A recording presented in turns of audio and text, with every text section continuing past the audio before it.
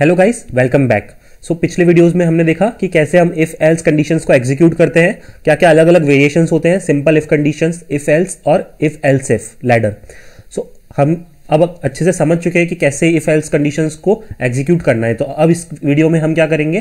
कुछ exercises solve करेंगे। सो first of all हम देखते हैं क्या क्या एक्सरसाइज है हमारी।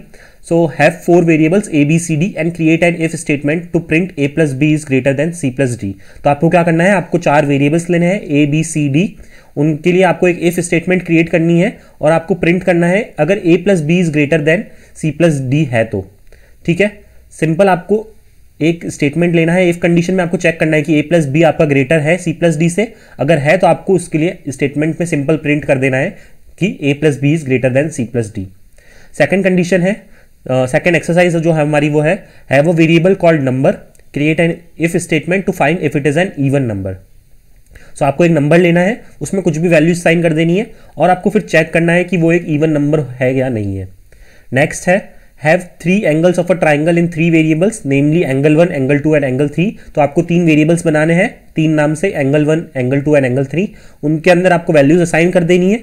और फिर आपको एक इफ़ स्टेटमेंट बनानी है और उसमें चेक करना है कि आपके जो तीन एंगल्स है, वो ट्राइंगल फॉर्म कर रहे हैं कि नहीं। अब आपको हिंट के लिए यहाँ पे दे रखा है कि angle one plus angle two plus angle three equals one eighty degree होगा। तो आपका जो है एंगल्स वो आपके ट्राइंगल बना सकते हैं। सो आई होप आपको एक्सरसाइज अच्छे से समझ में आ गई होगी। अब अगर आपको इसमें सॉल्व करते टाइम कुछ भी प्रॉब्लम्स आती है तो आप इसका नेक्स्ट पार्ट देख सकते हैं वीडियो का, जिसमें हमने सॉल्यूशन हम इसका देखने वाले कि कैसे इन तीनों एक्सरसाइज को सॉल्व करेंगे। मिलते हैं नेक्स्ट वीडियो में।